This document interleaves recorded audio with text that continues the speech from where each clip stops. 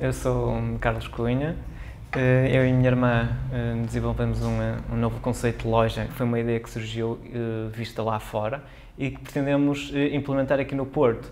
A Granel pretende ser uma loja 99% de mercearia seca e tudo vendido a granel. Esta ideia surgiu devido a grandes preocupações alimentares e ambientais, por isso optamos que o nosso espaço tivesse produtos 100% biológicos e a granel.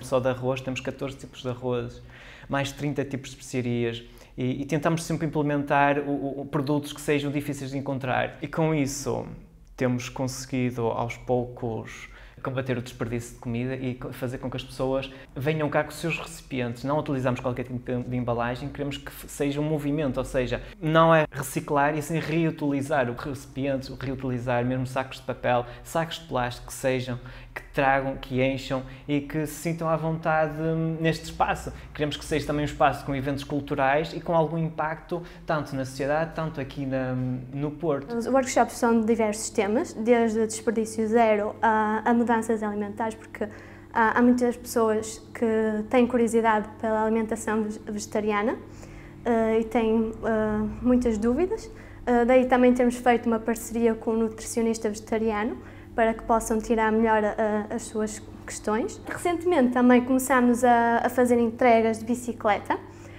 porque há, há, muitas pessoas que não têm disponibilidade para vir à nossa toca, então a toca vai até às pessoas. Estamos agora com bons produtos de substitutos da carne e um, a seguir queremos ir para frutas e legumes.